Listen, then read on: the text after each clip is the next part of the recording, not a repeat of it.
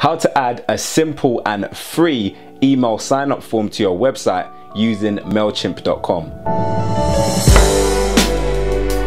Hi guys, it's Sam Dey here from deytips.com and this is kind of a demonstration video where I'm going to be showing you how to add a simple sign up form to your website for free using MailChimp.com. Now as you can see, I'm actually logged into MailChimp and MailChimp is a free software that you can use to actually create an email list and to start email marketing campaigns. So once you actually get your free MailChimp account, you want to come up here where it says lists and you want to click on that. This will then take you to this page where you can create a new list. Now it's going to ask you for some list details. So you want to enter in the list name. I'm just going to call this test 2. You're going to want a default email address. And this default email address is basically what if people actually respond to one of your emails that you write, then this will be the default email address that that email gets responded back to. So you want to make sure that it's one that you actually use and check often. Default name, I'm gonna put here Sam Dey. and then you can write a short reminder about how people join your list. So let's say someone joins your list, but then they don't read any of your emails for like the first month or so, and they might click on one of your emails and forget why it is that they registered. So here you can give a, a quick reminder. And the next stage, you'll see the view contacts.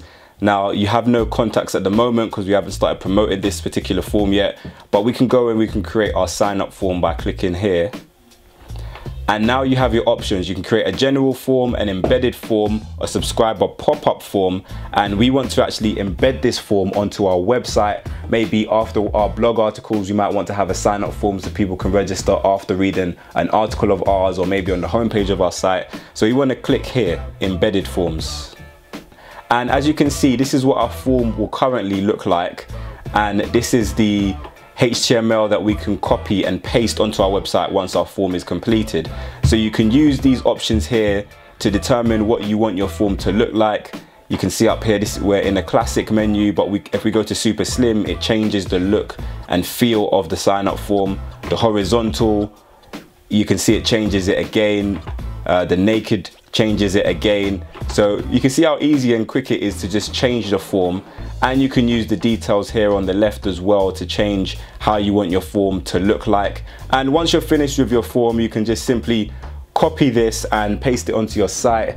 Like I was saying, probably the best place to use these kinds of embedded forms might be in the sidebar of your blog articles or right at the end of your blog articles or maybe even on your homepage when you want people to sign up and to register and to make it easy for people to join your list. So hopefully this video helps you to create a free and easy sign up form using MailChimp to add to your website. If this video was helpful to you, then please click the like button down below and make sure you share this video with a friend. If you have additional questions or comments, then leave them for me in the comment section. But until next time, watch some of my other great videos. Make sure you subscribe to this channel for more awesome business related content. Have a great day and I will see you soon.